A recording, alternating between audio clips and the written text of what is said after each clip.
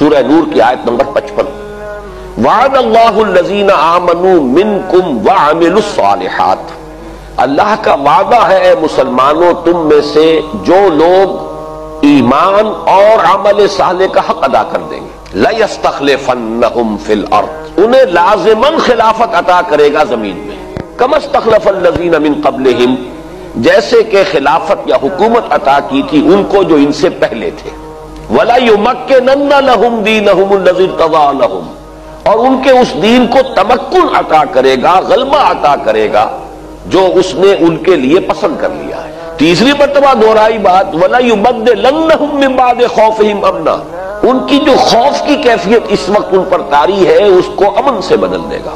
तो देखिए, ये तीन वादे, निहायत मुक्कर बात एक ही है। जब उन्हें हुकूमत अता हो जाएगी तो उनके दीन को गलबा खुद ही हो जाएगा। जब हुकूमत अता हो जाएगी तो ज़ाहिर बात है खौफ की कैफियत बदल जाएगी। तो बातें तीनों एक ही है। इसके बाद का टुकड़ा इस आयत मुबारक का बहुत ही अहम है।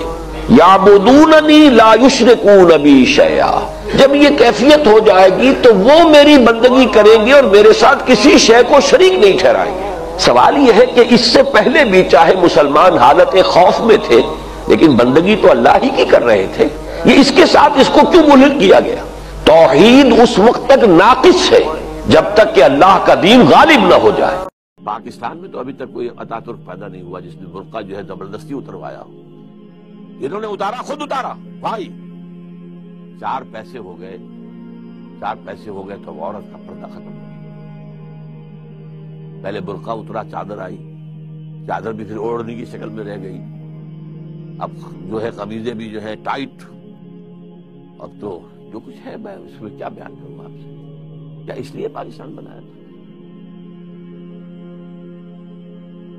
तरक्की हुई है अगर तो सरमायादारी को, और तरक्की हुई है अगर तो बेहयाई को, दो चीज़ों this is all that we have got ये तल हकीकत है, तौबा अफराद करें। जो तौबा कर ले, सही मानी में तौबा। या अपनी ज़िंदगी से गैर इस्लामी काम फारिग कर दे। अपने घरों में जाकर शरी पर्दा नाफिज करो। नहीं करते तो तुम्हारा इस्लाम के साथ कोई ताल्लुक नहीं।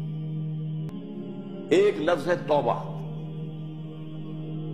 लेकिन तोबा दो लेवल्स पर एक इंडिविजुअल लेवल पर तोबा।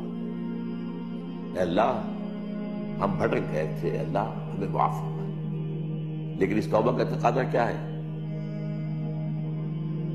देखो अपने वजूद को और अपने घर को और अपनी मीशत को और माशरत को। जो चीज़ खिलाफ इस्लाम निकाल दो। अगर ये नहीं करते तो कोई तोबा नहीं। बकवास। आप तोबा की तस्वीरें पढ़ते रहिए। रबी बिल्कुल लेकिन जो खबासत कारोबार में है, वो जारी रहेगी। हज कराएँगे दो दो चार चार छह छह हज किए हुए।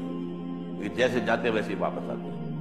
जो सूदी कारोबार करते हुए गए थे आते ही सवाल लोग दोबारा उसको शुरू करते ये तौबा नहीं तौबा ये है कि अपनी जात, अपने घर।